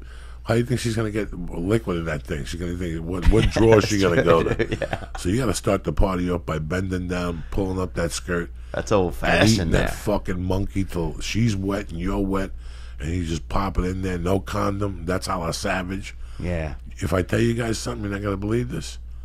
That's how I knocked up my first wife. I was in the halfway house when I knocked up my Outdoors? first wife. Outdoors. We were by her parents' house. I would go up there on Fridays and Saturdays, and I would stay over on Fridays and watch TV with them down in the bait. And uh, they had the living room, Yeah. but I wasn't allowed to sleep with. They were very Catholic. But one Friday night, one Friday night, one Friday night, That'll wow, get you. While uh, we would go, we would go up there, and the, and the pretense was that we're going to go hiking. And one, uh, give this to Leah, just like that. One Friday night, Go, Lee. we went up there, and our pretense was we were going to go for a hike. And we went for a hike, and we started making out, and right there on the property, I just bent her over and gave her a stab and Made a child, huh? made a fucking child. Oh, child. beautiful baby, man. Yeah, That's a child right there. that's a that's an old picture I found a couple of weeks ago. Holy shit, she looks a lot like Mercy, don't she? Oh, You would die. I couldn't even really like. I didn't even really really uh It what? get to. I, I looked at it, but I've, I've never seen a picture of her. I was like, oh my That's god. Jackie when she was five or six or seven, maybe. Jesus. long fucking time ago. I'm proud of what you did, Theo Von. Listen, man, I don't give man. a fuck what they tell you because this was my problem. My problem was deep down inside, I believed if I quit snorting coke, I wouldn't be funny no more. I really believed that if I stopped, this is the lie that I told myself. Leah, you writing this fucking down so someday when you're fucking writing your big novel, you can tell people this. My biggest fear was that the funniness, because I thought the craziness would go away Yeah. that thing that makes you push the envelope and not be fucking afraid. So for years, that was my problem. Lee. I wanted to get out of the cocaine business altogether, but I was getting there. I'm knocking on the door. I just got Spider-Man 2. I got a pilot with Luis Guzman. I got all this shit. And you want me to stop snorting now in the middle of all this shit and have a nervous breakdown? Now you gotta. In my head, I was like, fuck it, you gotta keep the machine rolling. And if that's helping me book jobs, guess what? I'm snorting double. Yeah. And that's what I made myself believe, Theo. That's a bad belief. Was that man. true? No, I, I wouldn't be sitting across from you. I wouldn't be sitting across from you. Addiction means, you know what addiction means, bro? Yeah. When you get rid of it, it means that your mind has 50% more capacity to think because you're not thinking about that fucking thing that drove you crazy anymore and how you're going to get it. I got to the point where I would wake up and you couldn't talk to me. What do you want to talk to me about? A gig for 100 bucks in August? Go fuck yourself. Unless you're going to give me 100 up front Yeah. for me to score today. That's all I cared about. When I woke up in the Wow. mornings, you couldn't talk to me about nothing. What are you going to talk to me about? Listen, I got a gig in December. Listen, you and your fucking gig and your mother go fuck yourself in December. I need something today. How are we going to make it happen today? That's Yeah. the mind of an addict. You know, you didn't get there. Thank God. When Yeah. you wake up from now I am on every morning, say, I'm a fu- It's a beautiful day to be alive. I'm not doing that shit no more. And you know what? Whatever the future holds, the future holds. But I'm not going to do that shit. Yeah. I'm not doing that shit. And just that's it. And it's fun. I miss putting a coke rock in my pee hole and having some chick suck it. Ooh. That's that's five in the morning type kinky shit. Yeah. That was my whole allure. That was my whole point of the night. If I could get you to either put a, a c- coke rock in my pee hole, if I could put a little coke on your clit and suck it, Yeah. and you look at me and go, "What are you doing? Just a little coke to numb your clit." At five in the morning, after you're coked out, a woman will let you do anything to them. It's a fucking shame.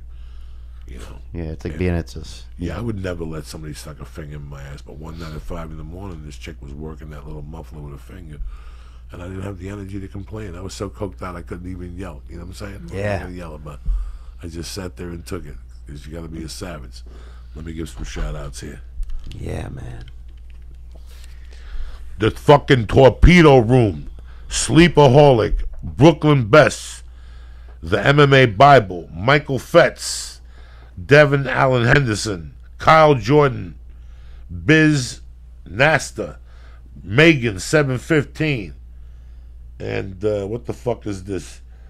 Uh, BRWLIN two C, plus the dude who gave me the nutsack fucking protector in St. Louis, plus the little fucking dude who gave me a container of weed, who gave me a note, which the note is in my wallet, and I'm too fucked up to go over there and get it.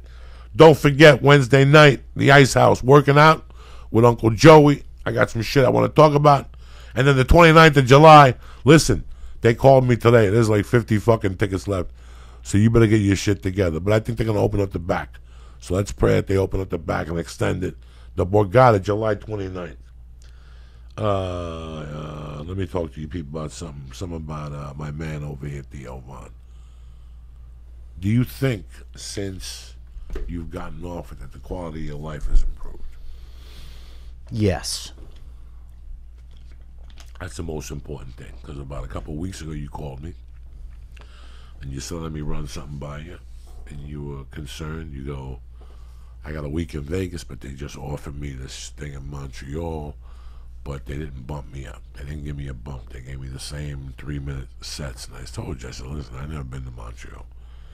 If I had paperwork and I got invited, I would go at any caliber because right now, only good things could happen to you. The worst thing that could happen is what up there? The only thing that could happen is you're going to go up there and fuck them up, Theo Von.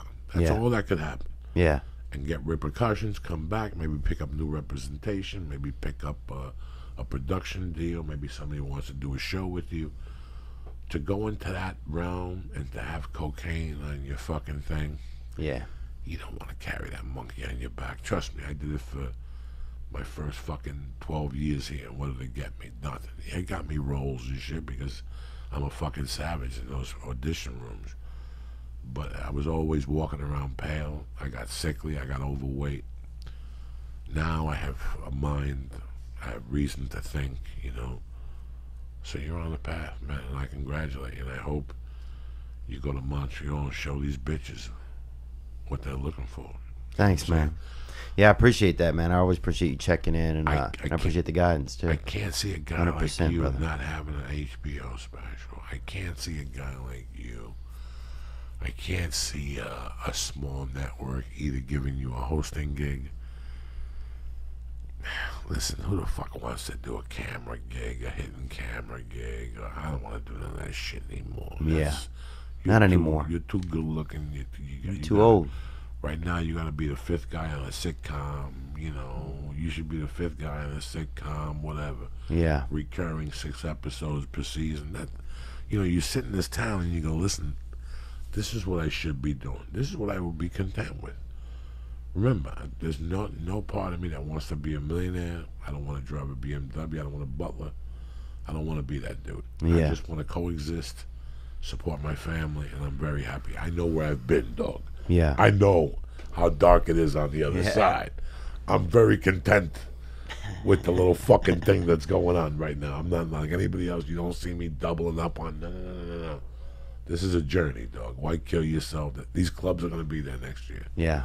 Write your material, take care of your shit, see what LA has to offer you. Because, like I always tell Lee, why fucking live here if you're not going to be in films or commercials? Yeah. Why live here? You can do, you can do this out of New Orleans. Yeah. You can move to New Orleans and Delta will fly you everywhere.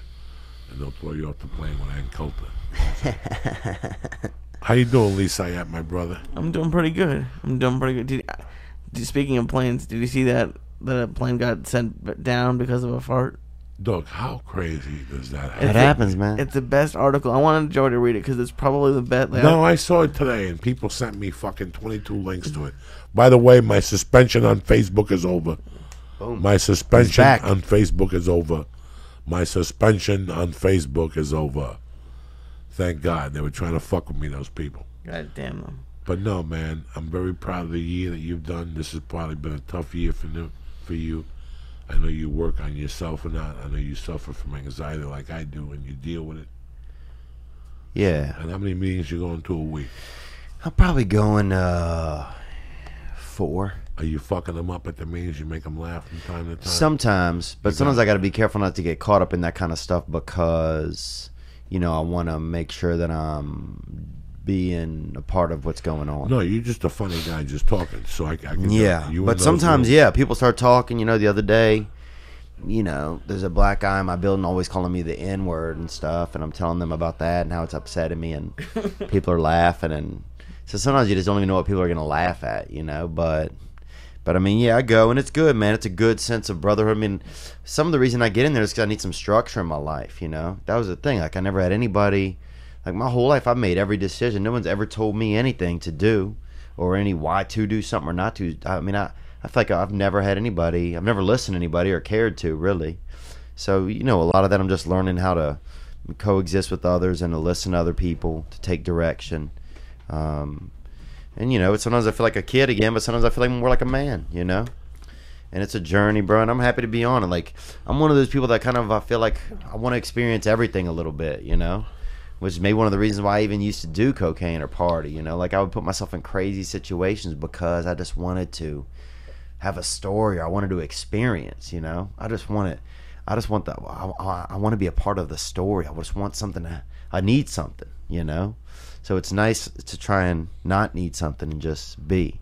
But you checking in with me, man, makes me feel good, and you know, it's things like that that make me feel supported and stuff like that, and I appreciate it, man. And even just getting to know, you know, I've met some neat people through you and getting to know you, and uh, it's inspiring also to see some fucking hammers on the stage again. You know, no more of these joke writing mathematicians. Let's get some fucking slinging dick out there, and let's see some entertainers, bruh. I'm sick of this. You need to support entertainers, man. Quit supporting all these fucking muppets. You know. You got away with words, brother. I like Sometimes. Like I'm learning from you tonight, man, and it's good to see you, Lee, bro. I always love seeing you. Theo. I'm I'm disappointed. I'm happy for you that you're going to uh, Montreal, but I'm going to Vegas uh, next week. So I'm disappointed, but next time. We would have been there you- together. Why you going to Vegas Friday? it's Yeah. your birthday this Friday, correct? Thursday, yeah. Nice. And you're gonna be 29 sir. years old. You know, Yes, sir. you, you know that that uh, people at home know that I torment them with the edibles and shit. I tried Oh, to explain myself last week that if I didn't do these things, there's a wa- part of me that looks at Lee, and he knows I love him to death, and I'm happy he has a girlfriend. It bothers me when he talks about marriage, Yeah. you know, because he's not ready at all by no mm, means. He's like a- That's so he'll be ready when he's 34, 35. He has to play this hand out here, see if he wants to open up his own business. But the other part, I always wanted Lee to do something, you know.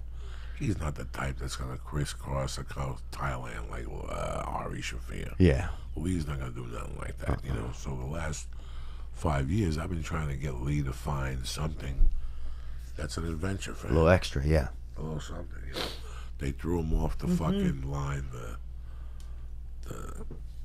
I was not gonna throw out the Anyway, zip line. People not keep look. sending me. let's not bring it up. We don't need to open up old sores.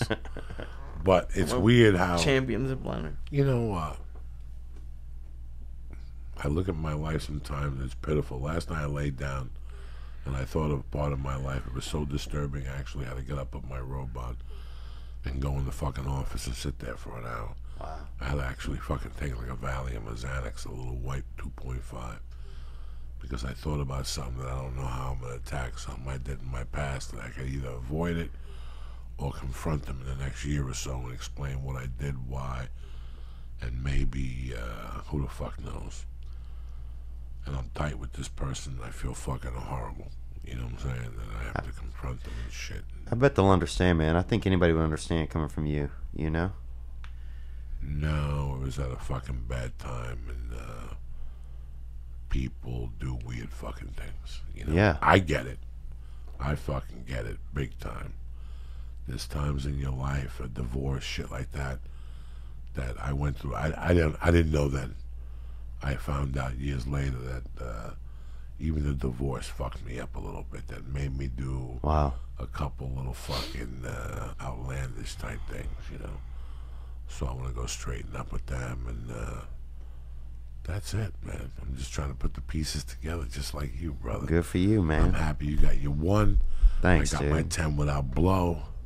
Dude, that's huge, man. That is huge. If you fucking think, I remember there was a time that I had accepted it. Like in '93, once I accepted comedy, I said, "Listen, part of this comedy deal is I'm not gonna fight this inner demon no more. This bullshit of getting high and then for four days shaking and not, it's not worth the aggravation. Yeah. Either I'm in or I'm out. I got no responsibilities. I got zero responsibilities. I'm a nomad. I live on a pager. I got a P.O. box in Boulder, and I got a four hundred dollar a month apartment. That's my bills. I had a five hundred dollar a month nut. I had a fucking car that all you had to do was change the oil in it, dog. yeah. I became a fucking nomad. You know what I'm saying? And part of that nomad is that all those songs you hear about life on the road and wanted dead or alive by Bon Jovi or Yeah. that's what it became for me. To become a fucking solid comic, you got to go back to fundamentals, and sometimes you got to go to hell and do comedy. And really, like I came out here and I thought I was Johnny Slick from Seattle, and I had enough to do spots at the store at one o'clock, but I didn't really have. I got eaten alive at the Improv one Yeah. night between Doug Stanhope and Nick DiPaolo. Mm. I felt and I saw the holes in my game, mm. and I knew to get those holes cleared, you got to go to hell, Buffalo. You got to go to all those towns, and once you rock them, you come back to LA in a year Yeah. and see what happens. That's a training camp. Yeah. And I just took everything I could: Michigan, Ohio, Atlanta, Yeah, that's what I've been doing. Tampa. You know, I would do whatever I could. Uh, Myrtle Beach, and I lived week to week. Every Monday, I sent out faxes, 200, 100 faxes, and I get a week somewhere. By Tuesday, I get a week somewhere. Fucking Theo Von. It was crazy. there was somewhere I got a week. In fact, I was just telling, I was in St. Louis last week, and I went there the year before, and I went to the year before with Ari. But before that, I had, hadn't been in St. Louis since 2000. Wow. I was on the road living like a nomad with this broad. Me and this broad are on the road as a headliner feature act. We're not fucking, but we're fucking like savages and snorting blow. Right? Yeah. But we're actually sleeping in separate hotel rooms. But I would stay in her hotel room till five. We'd do everything. She was crazy. I loved. I still do. And we got a call from Roger Paul. Hmm. You know that is in mm-hmm. New York. And he goes, "I got a week for you in St. Louis. Call me back. How much is it? Five hundred. The feature gets two fifty. That's it in those days. We were like in fucking Miami Yeah. we got in that car and drove up to Fairview Heights, Illinois. It was a hotel, and then there they had a comedy club. that was part of a Yoda run. Mm-hmm. Yoda also booked it, and the owner booked it. Mm-hmm. I think the guy's name was Paul. Mm-hmm. Fucking Johnny Bananas over there. Lee knows the broad I'm talking about. We walk in that place on a Wednesday. It's Wednesday through Sunday. You know, those places give you three beers a night. Those Yeah. places give you three beers a night. I got a hookup for Coke as soon as I got there. First night, somebody at the club had was selling forties for you know, it was like seven tenths of a gram, and I would I got an advance of two hundred bucks. I figured I'd walk with 300. 200 would last me the whole week. They gave you free breakfast at the hotel. Yeah. The club gave you dinner, so all I had to scavenger for in those days was a lunch, which is a Subway veggie and cheese. I went light those days. You know what I'm saying? Bag of chips, a combo was a fucking big day. Like you got a combo for lunch. Sometimes I'd have to get the 12 inch and eat the one for lunch and the other one for dinner. Yeah. So if I had Gitas to eat one 12 inch for lunch, Lee, those are big time days right there. I was living big. You know what I'm saying? I got a 12 inch and shit like that. Living large. Oh my God, those days. I think about those days and how I lived. And she kept drinking more than three beers a night. Yeah. And she just kept putting them on the tab. Like, yeah, put them on my tab. And that Saturday, I hear somebody crying in the green room. They gave her a tab, bro. Wow. Not she a penny. drank her salary, Lee. Damn. She drank $250 in four nights. How much could a beer be? I have no idea. She ran out of there crying. I had to give her a hundred bucks just to stop crying. Eat her pussy for two hours. Oh, just to get her to stop crying. It was a horrible night. I had a blister under my tongue. yeah, that sounds horrible A too. tremendous fucking. You're party. really a humanitarian, Joey. It's Come on, dog. I'm like Muhammad Ali in the fucking. St- I love you, Joe. Thank you, man. Theo Von, when are you gonna be? What's your dates? What are your plans? These people love you. They love when you come on. They're gonna be fucking ecstatic about you, about what's going on in your life. Yeah, man. what's I going on with. Montreal? Well, I want to thank you your fans that have come We out. have a big Canadian fellowship. oh, good. So I want them to go to Montreal if they live close to Montreal and come see you. What shows are you doing as part of Montreal? You know what? I don't even know yet, but I'll put them on, on my website at theovon.com slash tour. Uh, and I know it's the 27th through the 30th of July. Um, th- this Thursday, the 20th, I'll be at the House of Blues Where? uh, in San Diego with Sal Vulcano uh, from Impractical Jokers. And then um, August 10th through 13th, I'll be in Dallas at the Addison Improv. oh shit! My favorite club, bro. Pork belly sandwiches across the street. Fucking You used to have a taco place downstairs. Let me tell you something. Addison Improv was one of my favorite clubs. The new manager and me don't see eye to eye. So what are you gonna do? the room is great. though. The room is fucking tremendous. Let me explain something to you. Me and Lee both love Blue Apron. Lee, tell these people about your experience at Blue Apron. What did you like the most about it? I, I've I've loved learning how to cook, and I got my dad hooked on cooking too. He he's doing the family plan just for himself. He loves it so much. That's what he's doing every night. Yeah, he does it every night. He cooks it for lunch. He eats it for lunch and dinner. This beautiful thing. Blue Apron is the number one fresh ingredient recipe delivery service in the country. Blue Apron's mission is to make incredible home cooking accessible to everyone. Blue Apron achieves this by supporting a more sustainable food system, setting the highest standards for ingredients and building a community of home chefs. Do you understand me? Not only are you cooking, but you're learning how to cook. It's affordable for less than $10 per person per meal. Blue Apron will deliver seasonal recipes along with proportioned ingredients to make delicious home cooked meal. Choose from a variety of new recipes each week, or let Blue Apron's culinary team just surprise you. Bam! Lee loves to be surprised. Recipes are never repeated within a year, so you'll never, ever, ever get bored. They're going to customize your recipes each week based on your preferences. Blue Apron has several several delivery options, so you can choose which one fits your needs, just like that. And there's no weekly commitment, so you only get deliveries when you want them. Bing, bang, boom. Each meal comes with a step-by-step, easy to follow recipe card, proportioned ingredients, and that can be prepared in 40 minutes or less. You could do that, take a shower, check on it. You know what I'm saying? Blue Apron's freshness guarantee promises that every ingredient in your delivery arrives ready to cook, ready to cook, or they'll make it correct the mundo. That's what Lee said he liked about them the most. Check out this week's menu. Hit them, Lee. Oh, they have a great menu this week. They have Hit sp- spicy lamb and beef noodles There you go. that co- uh, come with peppercorns and uh, mushrooms, and then they have a seared chicken and tomatillo salsa with s- sweet corn and rice, and then they have chil- chile butter steaks with parmesan potatoes and spinach. All right, listen what I'm going to do. Get your first three meals free with free shipping by going to blueapron.com slash Joey. You're going to love how it feels and how it tastes, and you're going to love creating incredible home cooked meals with Blue Apron. So listen to me. Take advantage of this. You're going to love this, all right? That's blueapron.com slash Joey. Again, blueapron.com slash Joey. Blue Apron is a better way to cook, especially if you're single. You know what I'm saying? Why have all that stuff? This is your budget. This is tremendous. BlueApron.com slash Joey. Listen, you know me, dog. I'm no muscle magoo, but I take my protein, I take my hemp force protein seriously. The Alpha Brain is tremendous for you, especially when you want to think outside the box. And the Shroom Tech Sport, if you need a little boost when you work out at the gym, this is what you do. You know what? But you got to go to Onnit to get that. Not only do they have supplements, they got the bats, they got the kettlebells, they got all the great stuff. I can only throw you a little 10% discount on the supplements. So do me a favor. Go to Onnit.com and look at the great selection of supplements they got on there. They've been with me since day one. I get a shipment every month.